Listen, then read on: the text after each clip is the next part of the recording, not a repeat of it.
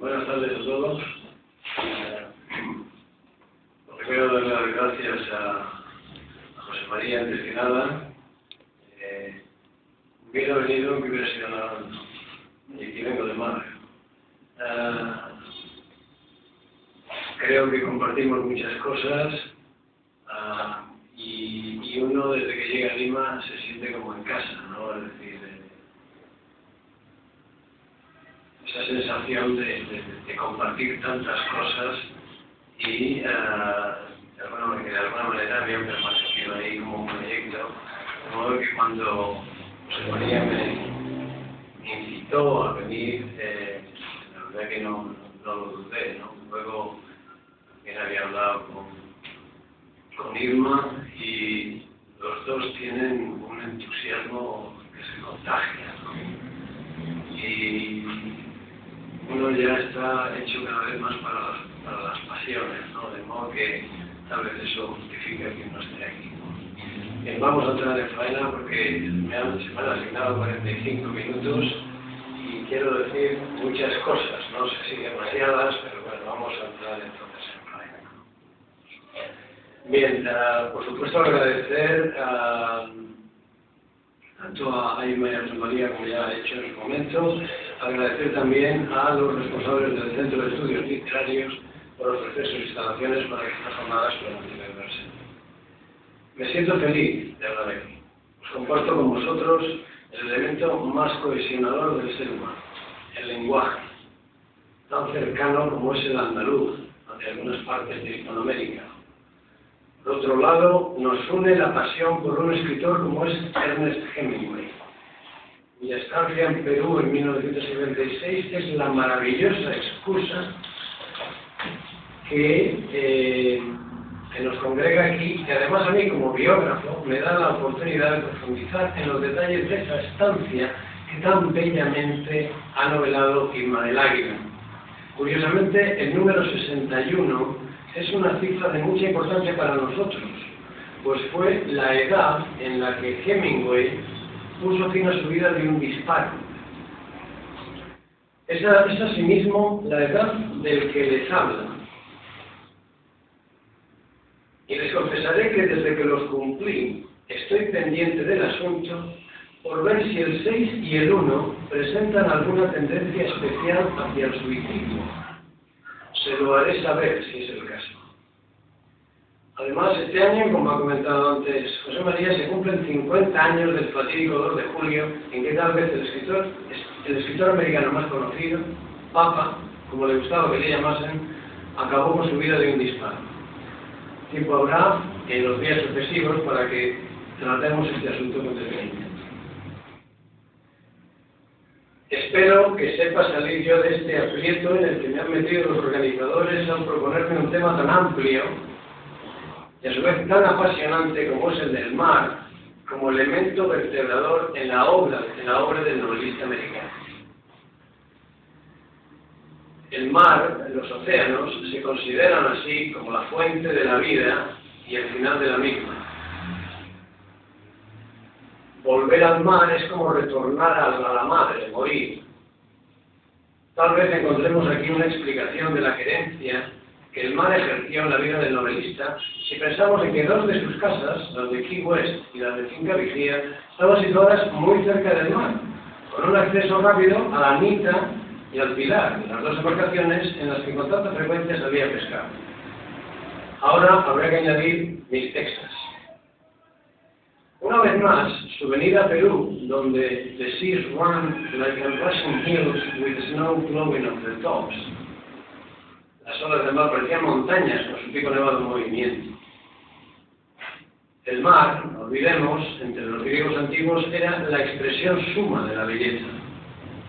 Las aguas en movimiento, el mar, los lagos de oleaje turbulento, sosegados, los ríos con sus deslizarse sin fin y sus torrentes y cataratas, han ejercido siempre una especial atracción, atracción sobre el ser humano, que en ellas ha simbolizado los movimientos del alma y no pocos principios morales y científicos. Finalmente, no se debe de olvidar que en el versículo del Eclesiastés, que el escritor utiliza para su novela Fiesta, dice, Los ríos van todos al mar y el mar no se llena. Al lugar de donde los ríos vinieron, allí tornan para correr.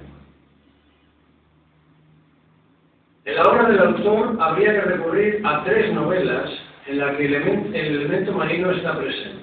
Son Tener y no tener, en el 37, El viejo y el mar, 52, e Islas en el Golfo, 1970, a las que habría que añadir los artículos periodistas de enviados Tener y no tener, que es la película que vamos a ver hoy, la escribió el autor en una época en la que existía una gran depresión económica en los Estados Unidos y un gran desempleo en la zona de Key West. Así que familias enteras se veían con muchas dificultades para sobrevivir, con lo que el contrabando de alcohol de Cuba era una actividad bastante frecuente. Todo este ambiente mezclado con sus viajes a bordo del Pilar, pescando en el Gulf Stream y visitando La Habana, le proporcionará a Hemingway la ambientación idónea para la novela. El escenario que se desarrolla en los acontecimientos son las costas de Cuba y Florida. El mar está presente en las descripciones de Harry Morgan, el protagonista, en la primera parte sale en busca de un banco de pesca para que el americano que le paga consiga atrapar un merlín. Cito. La corriente había penetrado mucho y cuando nos acercamos al borde vimos que tenía un color morado y formaba remolinos regulares. Hasta donde alcanzaba la vista había manchones de las descoloridas algas del golfo que indican que la corriente principal ha penetrado mucho. Unas aves se afanaban sobre un banco de pequeños atunes a los cuales se les veía saltar. Dice Hemingway El protagonista se ve obligado a alquilar su barca a un compatriota americano, Mr. Johnson, que resulta ser un vil estafador que se marchará sin abonarle sus honorarios. Así pues, se ve obligado a recurrir a algunos, asuntos turbios para sobrevivir, y como resultado de ellos, acabará perdiendo la vida. A lo largo de la novela aparecen frecuentes emplazamientos cubanos, el Café de la Perla, el Hotel Nacional, el Capital, el Capitolio, el Morro, Kojima, y aunque con otro nombre, el Hotel Mundos. La novela, que no es la mejor de Hemingway, las que escribiera, aunque todo de cierto éxito, sí será recordada por los cinéfilos, vamos a recordar hoy todos, en su adaptación al celuloide. Harry Morgan ya se, se, asociará ya en adelante con la figura de su réplica film, fílmica, Humphrey Bogart, y la señora Morgan ya para siempre Lorraine McCall. El borrachín amigo de Harry, que resulta un personaje que nos hace reír, era Walter Brennan. El director, de, el director de la película fue Howard Hawks, quien logró convencer a Hemingway, siempre reticente ante Hollywood, para que cediera los derechos de sus obras. Para convencerle le dijo, Ernest, no seas estúpido. Sabes que necesitas dinero. No puedes hacer toda la vida más que tus caprichos. Mira, le dijo Howard Hawks. Si recibo tres dólares por los ingresos de la película, de la película, tú te llevas uno. Y yo puedo convertir tu peor, tu peor novela en película. El director de cine manejó bien sus armas persuasivas, porque Hemingway preguntó a su vez picado por curiosidad, ¿cuál es mi peor novela? Que Cox contestó, foto de porquería que se llama Tener y no tener. De ahí no sacarás nada, replicó Ernesto. Por supuesto que sí, afirmó Howard. Tiene el personaje de Harry Morgan. Creo que podemos meter una mujer. Todo lo que tienes que hacer es hallar, la forma de que los dos se encuentren. Durante varios días charlaron de la historia en el Pilar. En mayo de 1939 vendió los derechos de cine, radio y televisión por 10.000 dólares. Warner Bros. los recompró por 92.500 y Fox los adquirió de la productora por ese dinero más la cuarta parte de la película. Dice Fox, cuando le dije a Hemingway lo que la película había recaudado y que él solo había recibido 10.000 dólares, estuvo seis meses sin hablar. El film tiene poco que ver con la novela original, aunque algunos la consideran un clásico del cine negro. Lo cierto es que Bogart y Bacall hacen el obra algo memorable, con ciertas resonancias de Casa Blanca y con un guion lleno de ironías y humor negro. Y es que el guion lo hizo otro premio Nobel, William Faulkner, en colaboración con Jules Friedman, uno de los mejores profesionales de la edad de oro del cine sonoro. Fox filmó los exteriores en la Martinica y las escenas de combate naval en alguna piscina de Hollywood. Desde el punto de vista biográfico, estos, viajes de ida y vuelta entre Cayo y La Habana tienen mucho que ver con la relación extramatrimonial más intensa que nuestro novelista mantuvo y que siempre aparece en sus biografías con cierto aire de misterio. Una mujer, como señala Enrique Cirules, muy hermosa e imprevisible. Tal vez la réplica femenina aventurera, encantadora, elegante, capaz de beber tragos fuertes y de pilotar coches y barcos, de cazar como el guía más experimentado. Era Jane Mason, la esposa de Grant Mason, un hombre de negocios exitoso que poseía una mansión en la ribera del, Jaimanitas, al oeste de La Habana. Los amores locos de la pareja contribuyeron a ampliar el mito del escritor que empieza a descubrir los encantos de La Habana. El Hotel Ambos Mundos, El Pilar, Finca Vigía, Marta Gellhorn, Mary Hemingway y El Viejo, de Mar, y el Viejo y el Mar vendrán más tarde. La fascinación por el mar del escritor vendrá aparejada a su pasión por el deporte en general y a la pesca en particular, y por una parte del mar que es el Gulf Stream o la corriente del mar. Es esta última una referencia constante en los artículos periodísticos y en las tres novelas citadas anteriormente.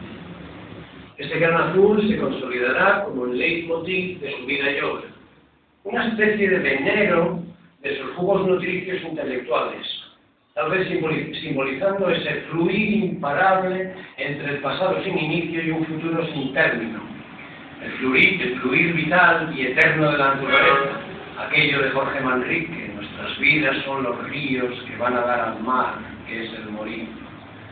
Una cosa sola y duradera, la corriente.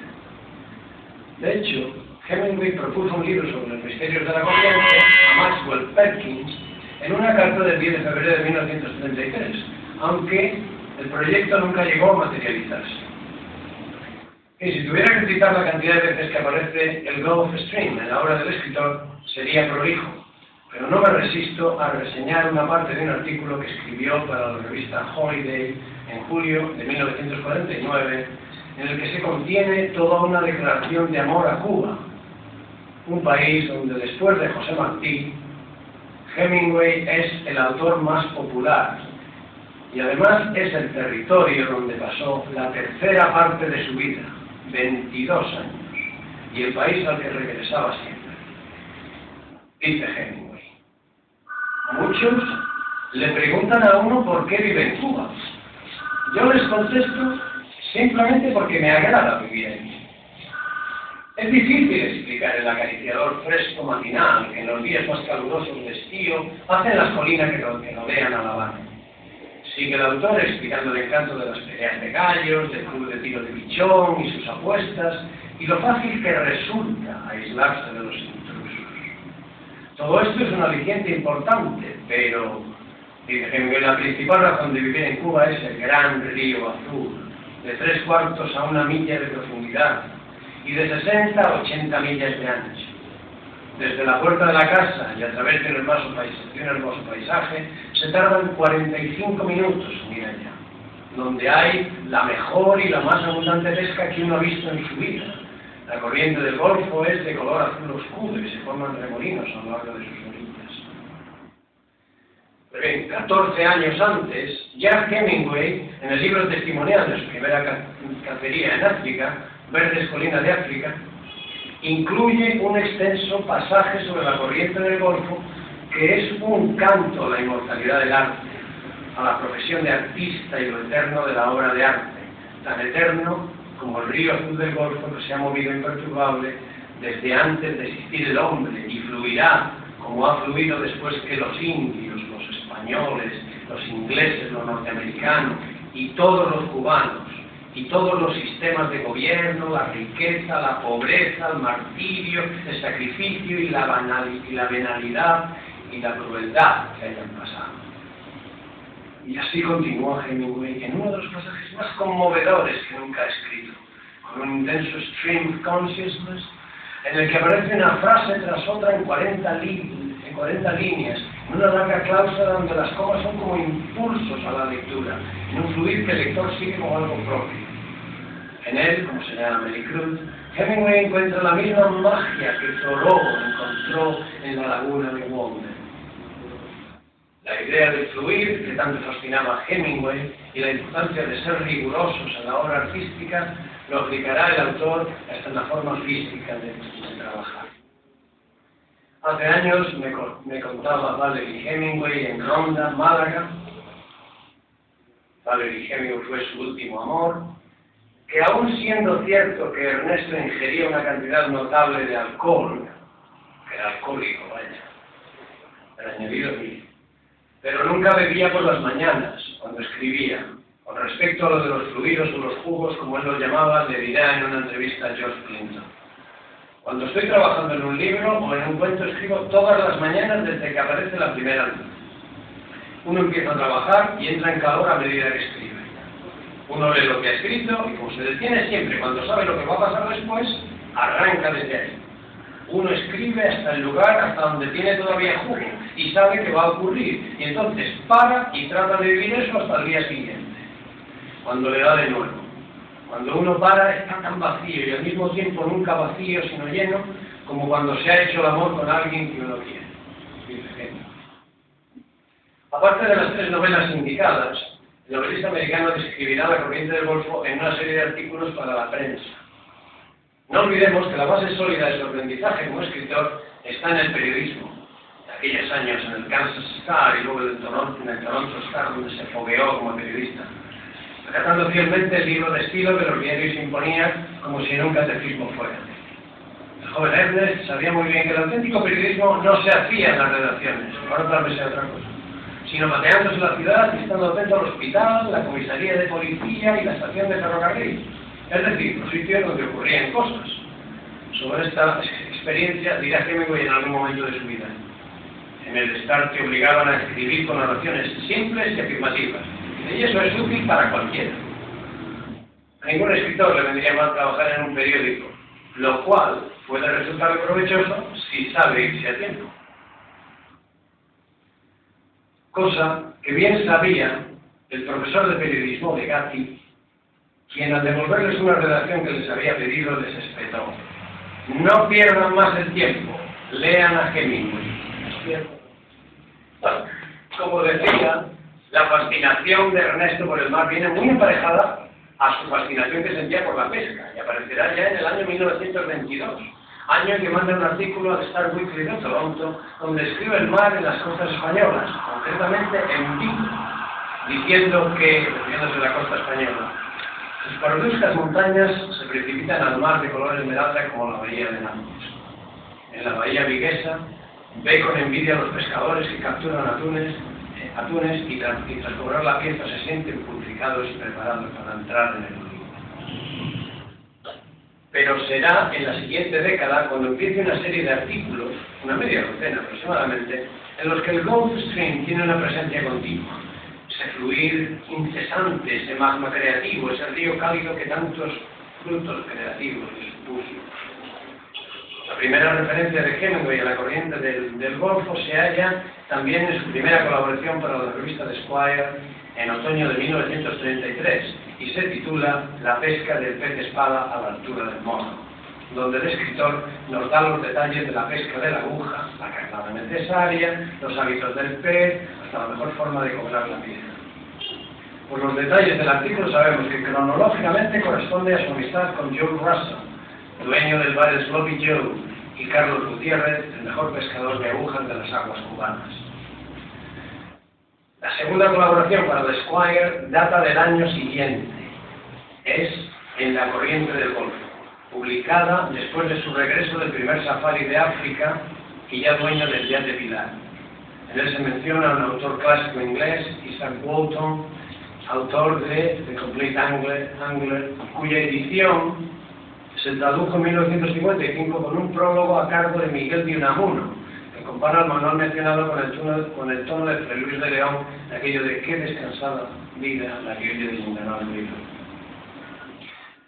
Vayamos a otro artículo. El tercer artículo de la serie se publica al año siguiente, 1935, asimismo la revista Squire, y titula Hemingway Vuelvo a recibir un tiro, en donde se cuenta la herida que el mismo Ernesto se causa a sí mismo de forma gratuita, de forma fortuita, en la pantorrilla mientras trataba de izar a bordo un tiburón, con el garfio en una mano y con una pistola automática en la otra.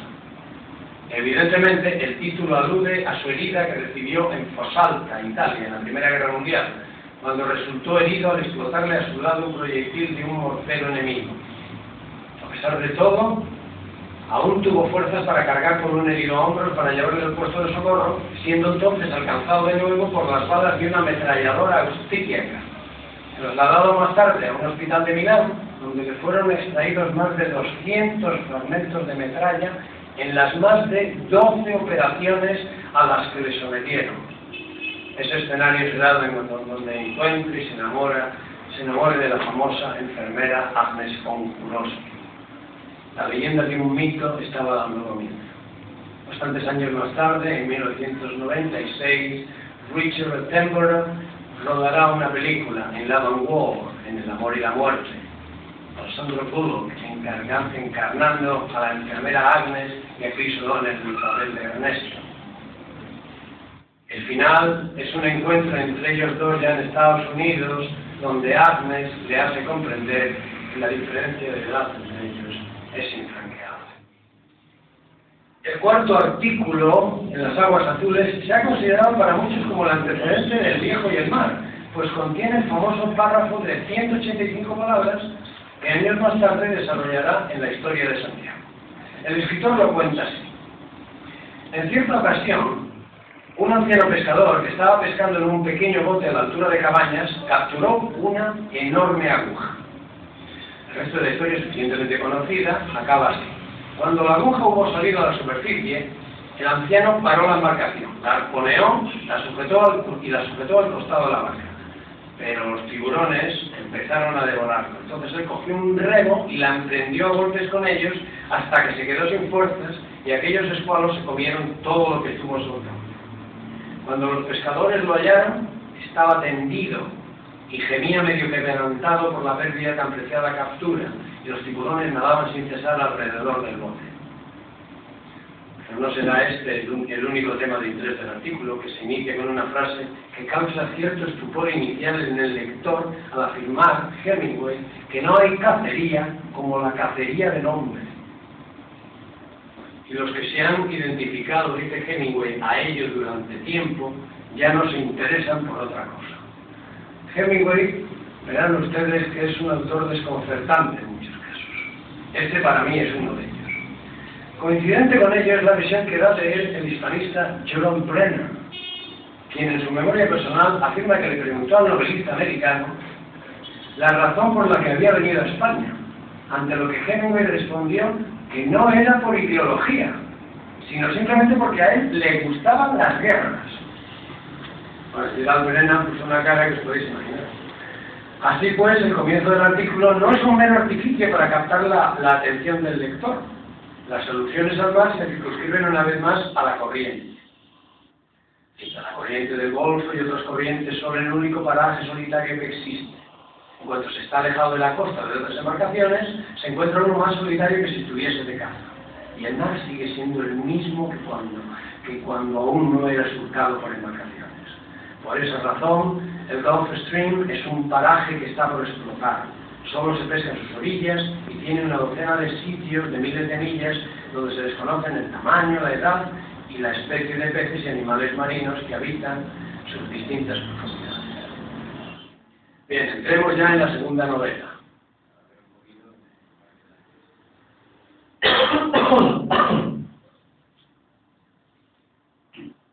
Pasemos pues a la segunda referencia novelesca, que es El viejo y el mar, que es sin duda la obra que más fama le dio al autor y convirtió a Hemingway ya para siempre en un clásico de la literatura americana.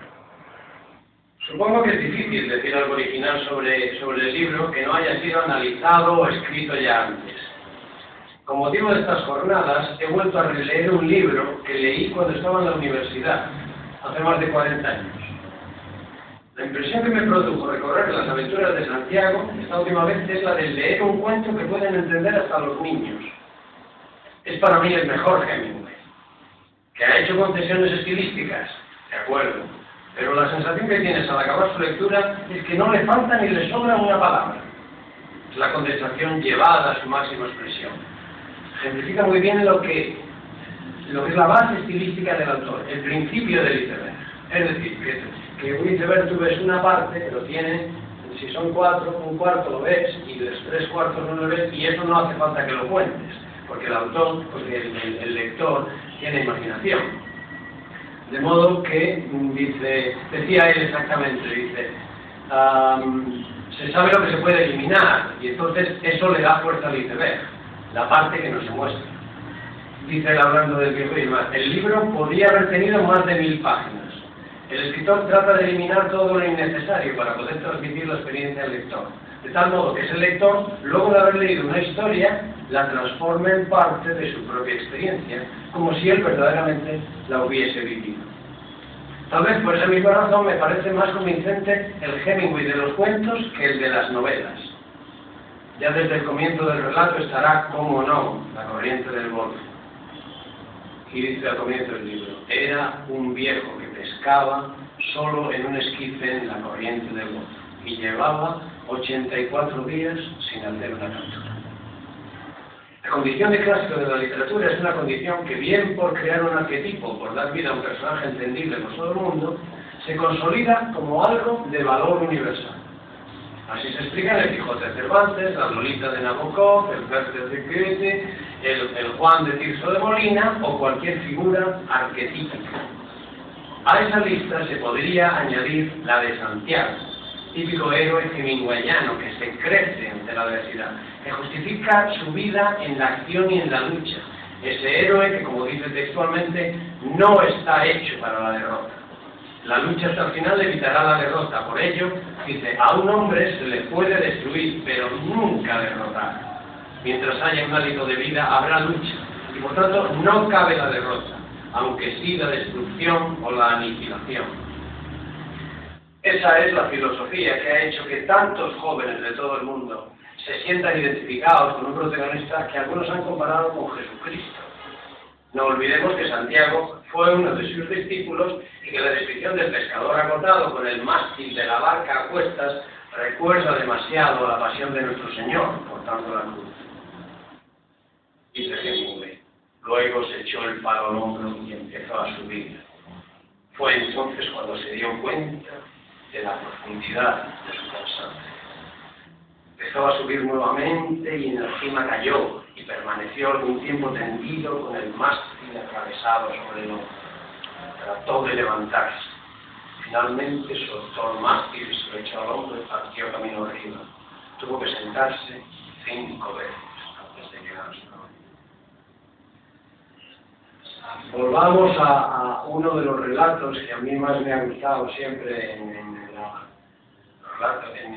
las historias cortas de Hemingway, que se llama El Invicto, de difícil. Manuel García, que es el protagonista, es un torero retirado que reaparece en el verano de 1918 en la Plaza de Toros de Madrid. Manuel ha salido del hospital no hace mucho, después de una acogida.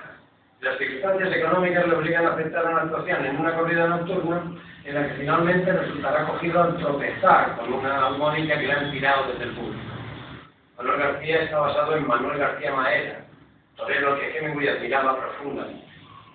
Su figura, vuelvo a repetir, encarna el prototipo de héroe caracterizado por ser derrotado por las fuerzas superiores, pero que sin embargo continúa invicto gracias a su valentía y a su honor. Una vez más, el código está presente, como le ocurre a Frederick Henry de tener y no tener. Lo cual hace que los escritores del autor americano sean identificables con facilidad y que para tanto los lectores se conviertan en un referente a imitar. Hemingway llegó a ser, les diré, un aficionado a los toros entusiasta y acabará escribiendo un tratado sobre ellos, Muerte en la tarde, libro con el que tantos anglohablantes, anglohablantes se han familiarizado con la fiesta nacional española. Pasado el tiempo, la revista Life le ofrecerá escribir una actualización del mencionado libro para que, el público, para que el público americano pudiese comprender cómo había evolucionado el arte de Cúcheles. Este era el origen de su último reportaje periodístico.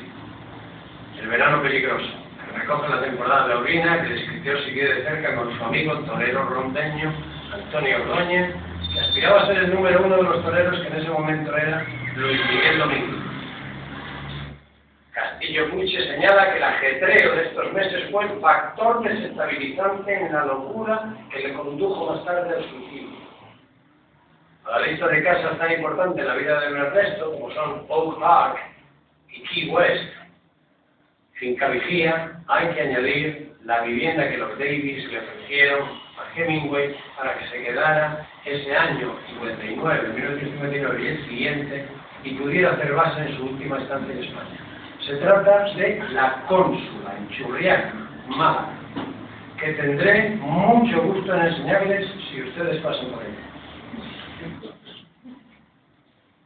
En todas las actividades pues que el héroe realiza hay algo de confrontación, bien resuelta técnicamente, pero que suele acabar en algún tipo de tragedia, la muerte en muchos casos.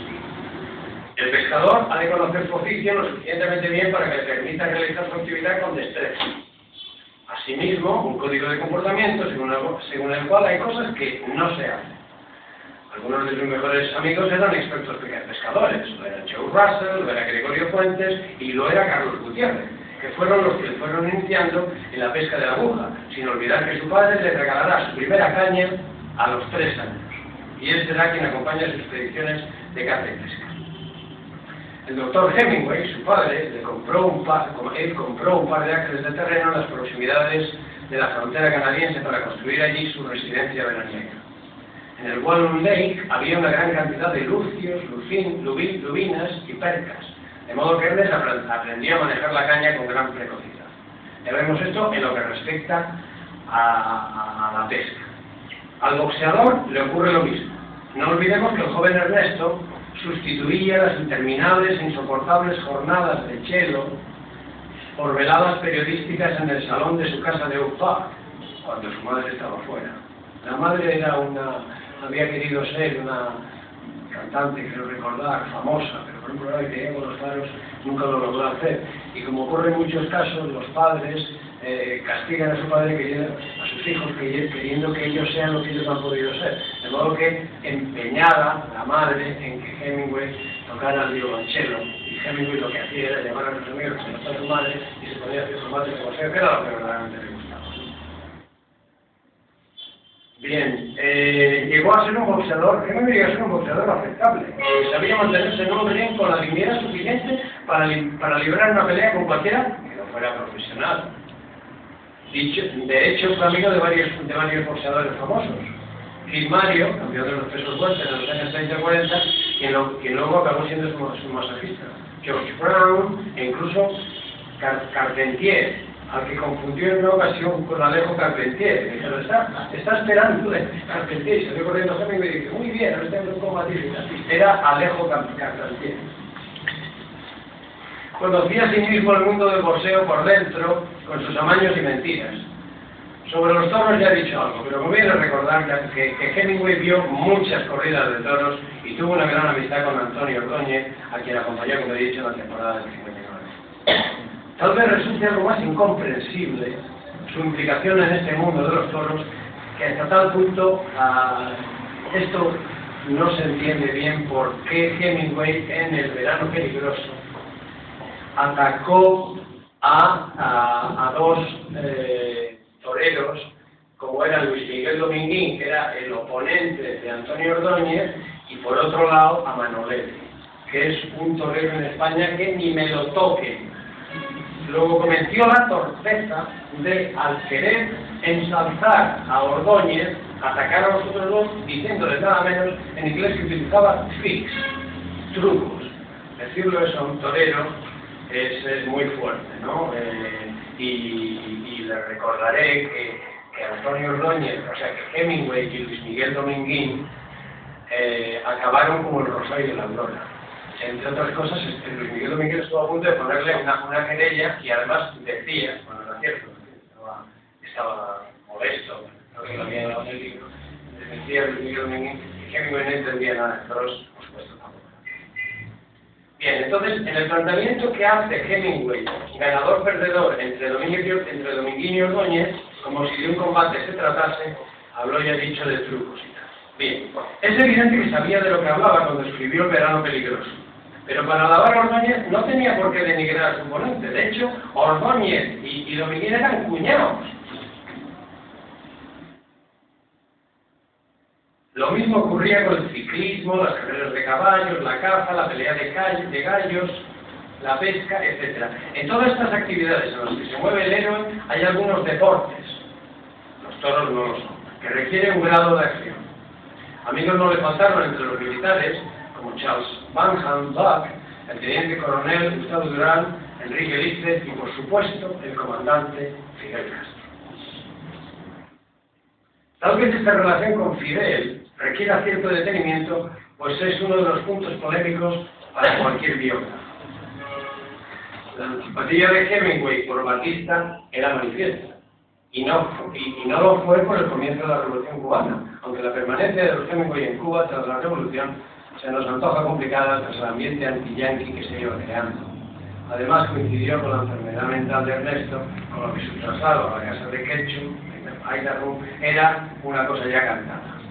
Hay que señalar que Castro fue un lector aplicado de las novelas de Hemingway y señala en alguna ocasión que la lectura de Por quien dobló las campanas le fue útil para aplicarla en Sierra Madre.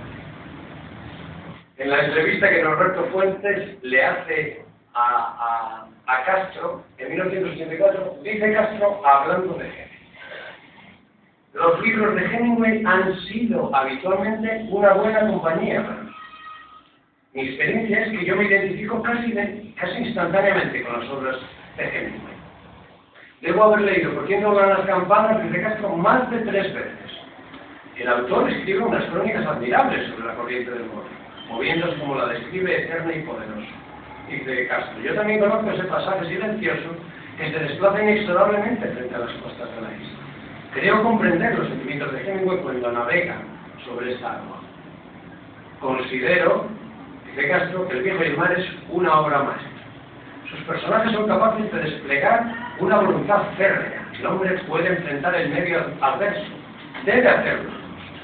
El final no estará escrito, el triunfo se obtendrá siempre, pero lo imperativo es buscarlo, luchar por él. Bueno, Castro ha sido siempre muy didáctico, no hay duda. Lo cuestionable es ser demasiado didáctico durante demasiadas horas. Lo que tampoco está muy claro es si verdaderamente el mandatorio, mandatario cubano hizo alguna trampa para adjudicarse el campeonato de pesca que patrocinaba Hemingway. Sobre el mar se ocupa el viejo mar casi desde el principio, apenas se ha hecho la mar el anciano pescador. Dice, el viejo tenía pensado ir mar adentro, por lo que dejó atrás el olor a tierra y remó hasta el limpio aroma matutino del océano. Vio la fosforescencia de las algas del golfo en el agua mientras remaba sobre esa parte del océano que los pescadores llaman la gran poza, porque había algo de pronto, una profundidad de 700 brazas, donde se congregaban toda clase de peces debido al remolino que hacía la corriente contra las empinadas paredes del fondo del océano. Poco después, el escritor nos sorprende con unas disquisiciones sobre gramática que tienen su gracia. Antes lo ha mencionado, creo que José María dice Hemingway, decía siempre, hablando del pescador, la mar. Así es como le dicen en español cuando la quieren. A veces, quienes la aman hablan mal de ella, pero lo hacen siempre como si fuera una mujer. Algunos de los pescadores más jóvenes lo llaman el mar en masculino, pero el viejo lo concebía siempre como perteneciente al género femenino y como algo que concedía o negaba favores y si hacía cosas perversas y terribles, era porque no podía remediar. El masculino es el uso generalizado si atendemos a los especialistas. Y así mismo lo hicieron los organizadores cuando me mandaron el título de la ponencia. Pero Manuel Seco señala que el uso entre la gente del mar es femenino. Hacerse a la mar, la mar, la mar picada. Luego oímos a los poetas y ya se nos crean un mar de dudas. El mar, la mar, el mar, solo la mar. dice, ¿por qué me trajiste, padre, a la ciudad? Dice advertí el marinero en tierra. Dice después Lorca, hablando de esto mismo, escribiendo sobre esto mismo. Soledad de mis pesares, caballo que se desfoca. Al fin encuentra la mar y se lo tragan las olas. No me recuerdes el mar, que la pena negra brota, las tierras de aceituna bajo el rumor de las olas. Según cuenta Roberto Fuentes Hemingway era amigo de blasfemar y pensaba que el español era la lengua ideal para según pueden atestiguar sus antiguos conocidos, sus expresiones favoritas en español eran las blasfemias más más sonoras del idioma, la más fuerte me la voy a ahorrar. Y, con frecuencia se le oía decir la puta madre, lo cual da ciertas explicaciones a, a su disquisición en torno al género de la palabra. Bien, las tres novelas elegidas, en las que tiene un papel preponderante, que ya los he citado, ofrecen una buena prueba de las posibilidades que el propio existir que Hemingway lleva hasta las últimas consecuencias.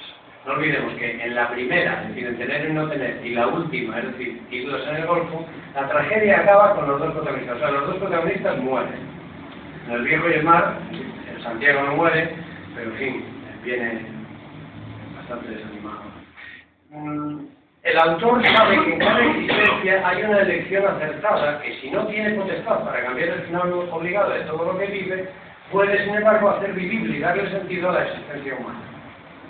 El elemento que está omnipresente en las tres obras es el mar, y dentro del mar las aguas azules del Golfo, donde reposa el archipiélago cubano.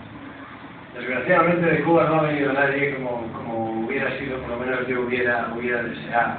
deseado Los especialistas cubanos en Hemingway, Enrique Cirules, Maricruz, Norberto Fuentes, Gladys Ferrero, se quejan con frecuencia de que la mayoría de los vivos por el escritor no conceden la importancia de vida que, Cuba tuvo en su obra, y no les falta razón, ya que no solo es Cuba escenario de las obras citadas antes, los artículos y cuentos, sino como lugar inspirador, ya que el Hotel Ambos Mundos y, y Finca fueron algunos de los lugares preferidos desde donde escribir. Así lo manifiesta, asimismo, otro premio Nobel, García Márquez. Dice, la Habana en general y Finca en particular fueron la única residencia estable que tuvo Hemingway en su vida. Allí pasó casi la mitad de sus años útiles de, escribió, escritor y allí escribió sus obras más importantes.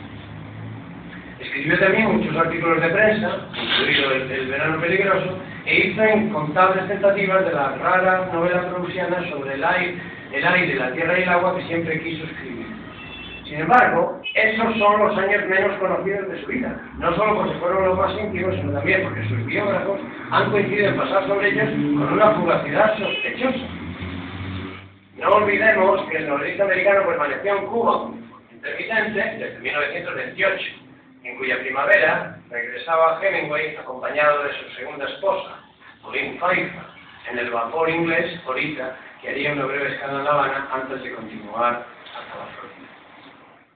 La última referencia al mar en el Viejo y el Mar se produce en el momento en que los galanos le han arrebatado la carne de la presa de Santiago, pero aún así el pescador sabe bien quién está a su lado y quién no. Y dice, el viento es nuestro amigo.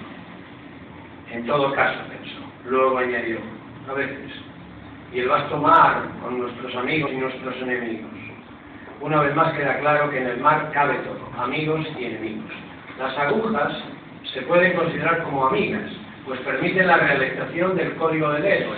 Por ello el héroe cumple hasta donde le es posible, apresando un gran Berlín. Los galanos ya no.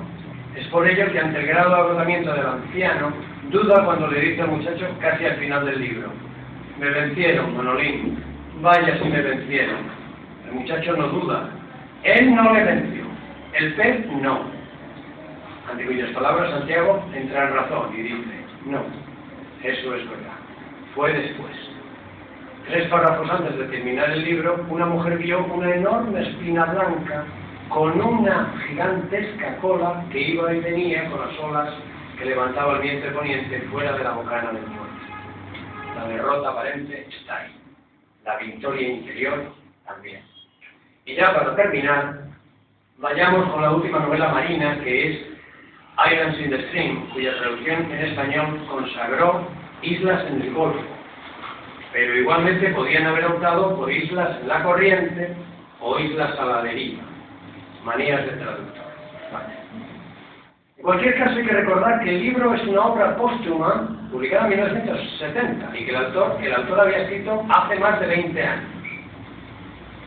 Ernest trabajó en la obra desde finales de los años 40 y fue un proyecto que llevaba en paralelo y que también aparecerá tras su fallecimiento. Precisamente ese monumental conjunto que había denominado The Sea Book sería de donde desgaje la historia del pescador Santiago y que dará lugar al viejo y el mar.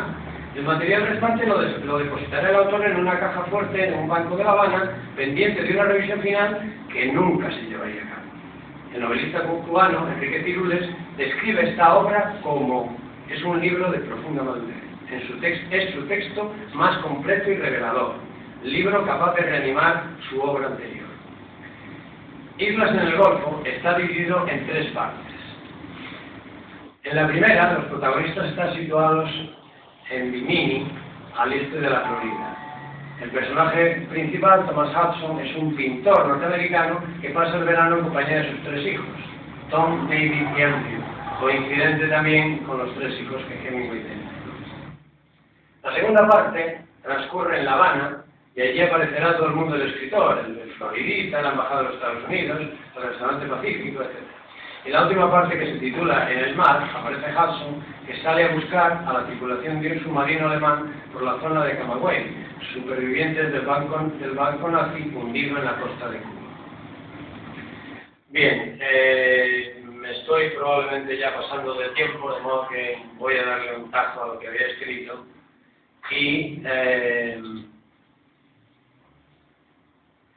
voy a enganchar um, con eh, este, este, este, punto que es un punto polémico también desde el punto de vista eh, biográfico y es lo que Hemingway hacía con, un, con, un, con su yate pilar eh, armado hasta los dientes persiguiendo submarinos nazis.